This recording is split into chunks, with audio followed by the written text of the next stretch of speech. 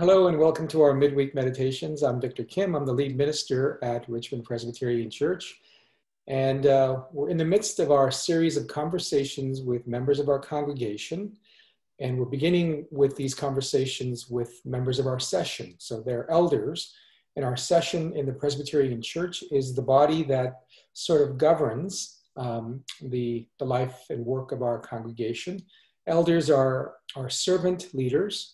Um, they are called not to rule really as much as they are called to serve.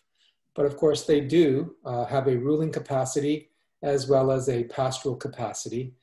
And um, it's really great that as many of us can come to know our elders, as many of our elders as possible, because these relationships are so important for us within the church. So today I'm delighted to welcome to our midweek meditation and conversation uh, our elder Mary Hanson. So, Mary, welcome. Thank you, Victor. Nice to be here. And Mary, we want to wish you a happy birthday because we know that a couple of days ago you celebrated your birthday. Yeah, we're good say, out on Facebook. we won't say what the age is, but I hope you had a good day. I did. I did. I saw some family and it was it was very nice, even to see some of them these days. Excellent, excellent. Yeah. Well, um, we can probably guess, if people haven't already, that based on your accent, that you have you were probably not born here in Richmond. So, could you tell us a little bit about your history? Where were you born, and how did you get here? Well, I was not born here, that's for sure.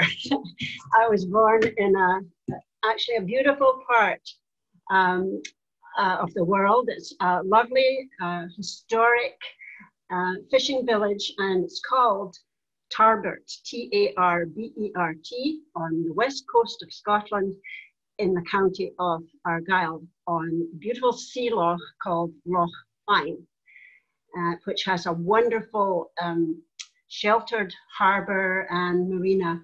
It was when I was growing up, it was a herring fishing village, well known for that.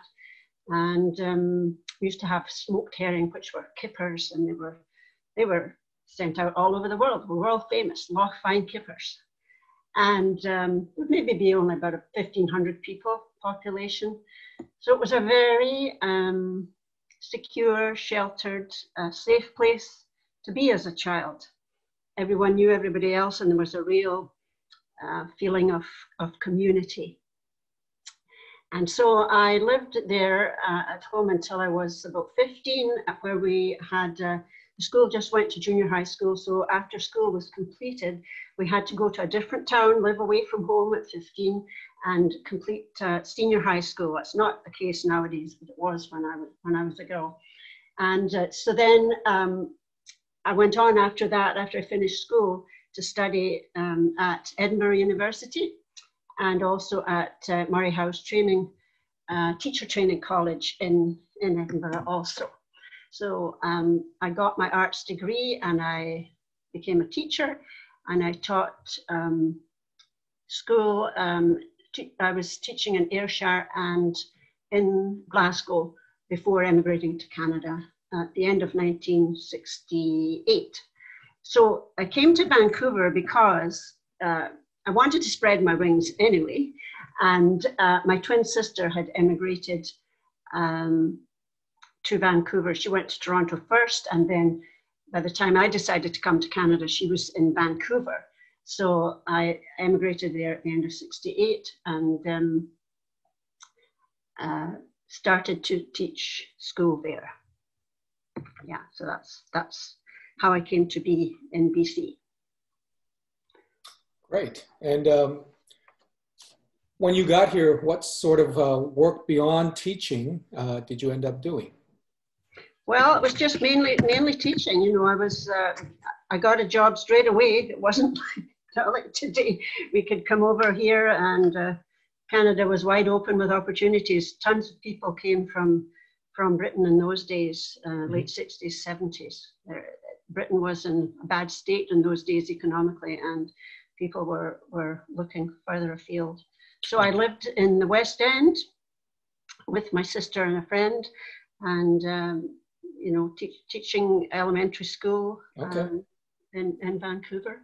Um, so it was it was really uh, that was that was what I did when I lived in Vancouver uh, uh, to begin with. Mm-hmm. That's not what I ended up doing, but I, I started off doing that. Um, and in, in as far as my family goes, my dad was uh, a Tarbert uh, village native, mm-hmm. and my mom was born and raised on the island of Lewis, which um, is in the Outer Hebrides in uh, way far in the northwest of Scotland. Mm-hmm. And um, her first language was, was Scottish uh, Gaelic or Gaelic, as, as some people say. And uh, used to learn a lot of her, a lot of the Gaelic Gaelic songs hmm. as a child growing up from her. Um, my father uh, was a district clerk with the county council of Argyll, and um, but he was also a wonderfully strong Christian. Hmm. Um, his faith was just such an example to us all, and he was a loving, caring, um, wonderful individual, and always always ready to help others. And um, he uh, also was clerk of session in the hmm. church I grew up in, and um, he directed choir my grandfather, who was also a Tarbert native, um, he was a fisherman there in, in that village. And I never knew him. He was, I wish I had, but he was gone before, before I was born. But um, this was my father's father, and he had modeled that same uh, Christian witness to his family, just a highly respected man. And I'm forever grateful for that, that I had this uh, history, if you like, of uh, the faith being passed on from one generation to the next.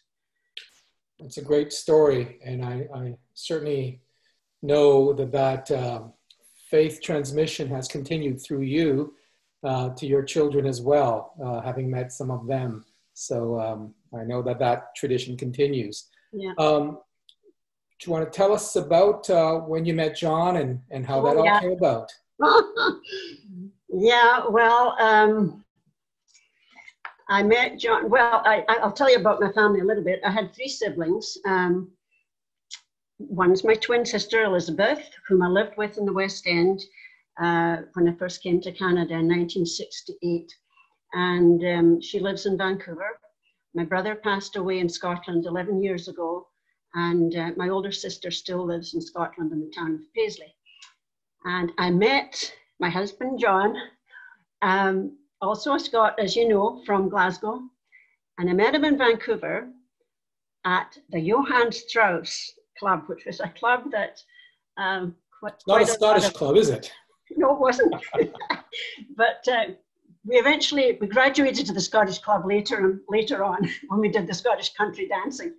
But um, yeah, it was uh, a lot of Brits and, and Europeans congregated there in those in those days, right right downtown Vancouver, and it was it had a big restaurant and had all kinds of dance music, and I loved dancing, and so did John, and it had all sorts of different kinds. It had umpapa and modern and rock and everything, and uh, so uh, this was in 1970, and uh, he asked me to dance, and the rest's history. well, I don't know if you've noticed my the West End mug. Oh yeah. in honor of your time at the West End. Yeah, the How West End you... days were fun. It yeah, it was uh, fun times. Fun much times. different, much different uh, city back totally then than it is different. now. No doubt. Totally, totally different. Oh and yeah. Same with totally same different. with Richmond, of course. So how did you end up in Richmond? Well, a bit of a story here. Um, we uh, uh, what do I think? Well, that's a long, it's a long story really. Um, what happened was that I, um, we lived in the West End, John and I. We got married in Central Presbyterian Church, um, and we lived in the West End, and um, then uh, I, I taught school there, and uh, I was I was teaching in uh, one of the elementary schools in um, Vancouver, South Vancouver, Sir James Douglas. And um, so I was teaching there, and uh, we decided I, I stopped teaching because I was pregnant with my first child. So we decided to go back to Scotland. So we did the return trip. And uh, we went back to Scotland in 1972, uh, just before uh, Fiona was born, and um, lived there for uh, six years. Yeah, six years. And our first, our first two girls were born in Scotland, and we stayed there six years. And we came back to Canada in 1978, but it was to Winnipeg and uh, we were there for 14 months. And then we came to Richmond, and John John didn't want to stay in Rich in uh, Winnipeg, neither did I. Uh, so we came back. We came back. We, our intention was really to get back to BC, and uh, John got a job with what was then BC Tel, now Telus, and um, we bought a house in Richmond in 1979. Um, so that, that's how we came back to Richmond in 1979. So we've been here a long time. There's a lot of people that ended up in BC because they didn't want to stay in Winnipeg. Which I don't well, I had, we had one winter there, and that was enough.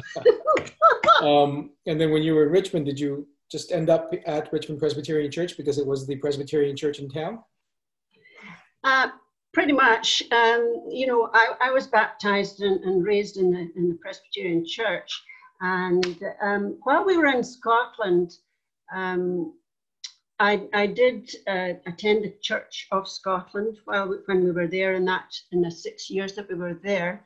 Um, I, I, became a member of the Church of Scotland at um, I was about 31. I did quite a lot of questioning before I decided to become a member of the, the church, especially during the university years. You know, when you question lots of things. And uh, then when we returned to Canada, then uh, I was I did uh, become a member of the First Presbyterian Church in Winnipeg. And then after that, we, we came, when we came back, um, we're actually in the West End for, for a few uh, weeks before we bought the house in Richmond. And um, we were in Central Presbyterian Church there. And the minister there knew we were going to come to Richmond because we'd bought a house there. So he told Tony Plomp that there was this young family coming. And Tony wasn't long before he, he was on our doorstep. but I have to tell you a, a kind of funny uh, coincidence that happened when um, the first Sunday that we attended RPC, and there was Bob Govro and Tom McKinnon at the door welcoming people, and Bob was always showing people to their to a pew, you know. So he showed us into a pew, and um, we sat down, and this couple started to talk to us. Hi hello welcome. Are you are you uh, visiting you know? And i said actually no we've just actually moved into to, to, richmond and this is our first sunday. Oh and where are you staying? Where, where are you living? So i said at that time it was 10420 number four road. And they looked at me and they said we're your neighbors. This was george and weimar and they gave us such a welcome, and they, mm-hmm. and they have, were wonderful neighbours to us for over 30 years, 35 years yeah. or so.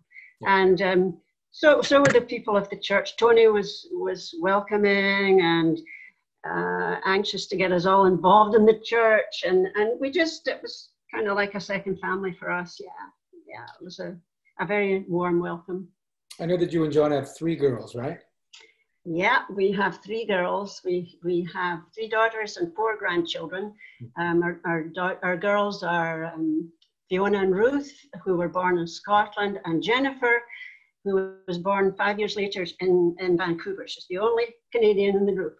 And uh, yeah, and then we have um, four grandchildren. Um, Claire, 19, Robbie is almost 17, Ailey is uh, 11 and Parker is eight. So two boys and, and two girls. And mm-hmm. they are all loving, caring human beings. And they bring me so much uh, comfort and joy. And it, it's just, uh, it's, it's just such a blessing in my life. Yeah, no. but, but it's wonderful too to have my twin. My twin uh, is, as you know, in Vancouver, and we share just so much. Mm-hmm. And um, we just have a really close bond, as I think most twins do. We're not identical, but we do have a very close bond, and she's definitely my best friend. yeah, it's wonderful to be so close to your twin sister. Yeah. And of course, she was with you uh, for your birthday, I believe. She was. Yeah, she was. yeah. Yes. And she Um, very much enjoyed the service that was we sat and watched last Sunday. It was wonderful. Thank, Great. the Thanksgiving service, beautiful. Um, when did you become an elder at Grace uh, at Richmond? Um, I was I was ordained as an elder 25 years ago, 1995, I think it was. Yeah, and um, you know I had been asked at least two or three times, and each time before well I eventually agreed, obviously, but I wasn't. I just didn't feel ready. I was I'd been raising a young family, and then I had had a bit of a health crisis, and I I just didn't feel ready. So um, gave it some time but as as I went on with the Richmond um, Presbyterian family, um, it, my faith uh, really developed and um, it matured. And as I became actually as I became more active in the church, more actively involved in in Bible study, worship, um, teaching Sunday school, leading the the junior choir, the choristers as they were called and in prayer and fellowship with other Christians, I did become more and more aware of God's call um, to serve. You know, I thought that I just felt that being a member of the church, we are called to serve and, and use whatever gifts that God has given us. And so I did become more and more aware of that. So I prayed about it, about the eldership, and um, still struggled with a sense of inadequacy. I mean, I think we all do. I mean, we all think we should be so good at everything, but that's not really what it's about at all. It's about uh, uh, service and, and humility and uh, all of that. And so um, I felt then that if God was calling me, He would guide me and, and equip me for whatever tasks He had and what for me to do and whatever challenges uh, lay ahead. And I do find, I think it's a privilege and a responsibility too um, to serve in the church. Um, it's um, the part of it I really enjoy is building relationships with people, uh, as you get to do when you have a, an elders district. And I really enjoy that. I, I know that we, all of us in the session, have different gifts, a variety of gifts, one body, and um, we are asked to um, use them in whichever way we can for God's glory uh, and to serve others and to serve Him. And um, I, I just know that I think that God works through all of us on the session. We're, we're a, a varied group and uh, there's a lot of respect for one another. And um, I know the Spirit, Spirit works, Holy Spirit works through us to, to accomplish. Well, thank, thank you for sharing that. I know that um, one of your passions, of course, is music. Oh, Um, yeah. As you said that you you you were directing and conducting the junior choir Yeah. uh, at Richmond, um, and you've sung in the choir, of course, and uh, you do some solo singing these Yeah. days. And we've had you on our our, our uh, broadcasts uh, Mhm. singing solos and helping to sing the hymns. So um, I know that that you love singing and that whole musical component of it. Um, is that something that you really miss because of the pandemic restrictions and, and what else what are you looking forward to once the the restrictions kind of uh, are lifted and, and we can sort of do the things some of the things that we used to do uh, i don't think we'll ever get back to the exact same and maybe that's a good thing but um, Yeah. maybe it's music maybe it's something else what are you looking forward to Yeah, well, music's been a part of my life forever, choral singing especially. I mean, I've been doing that since I was a child. Uh, my father directed choir in my church. And in that, in those days, or in that denomination, uh, you know, it was a strict branch of the Presbyterian Church in Scotland.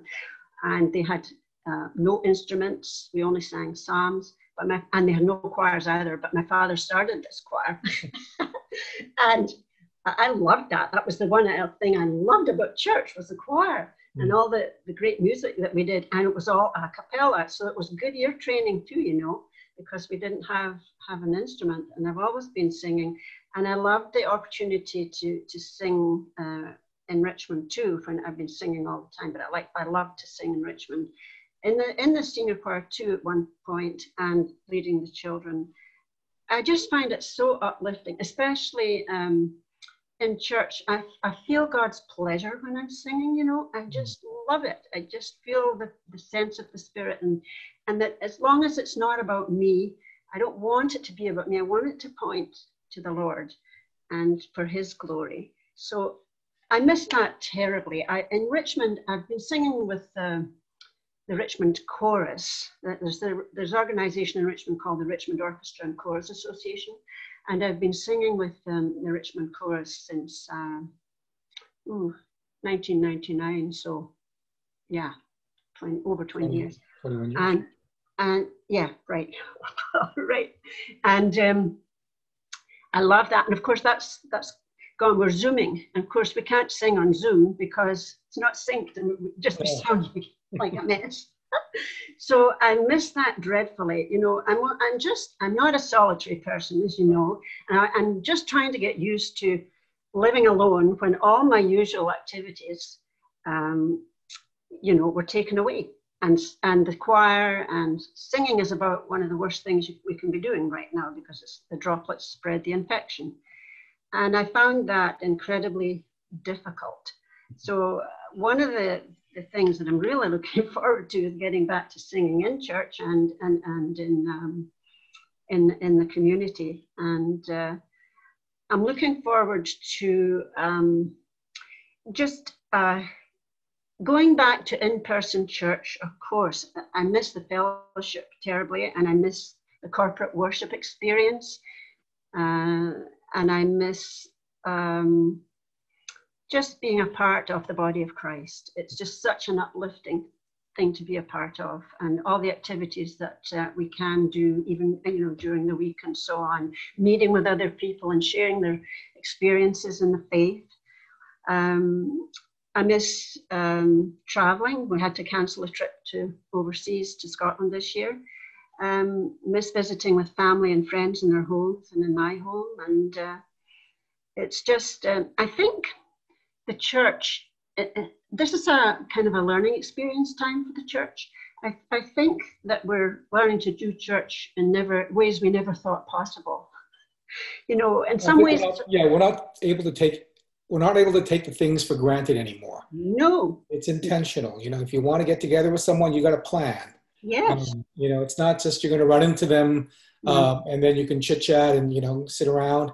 You got to make plans. And yeah. same thing about, you know, anything that we want to do together and to be as a church, it's got to be carefully planned. So I think yeah. there is a, there's a learning curve here for us to, uh, which is maybe not a bad thing. I mean, nobody wants the no. pandemic, but uh, no. I think if there are some things that can be learned from it, maybe that's mm-hmm. not, uh, you know, it's not all bad.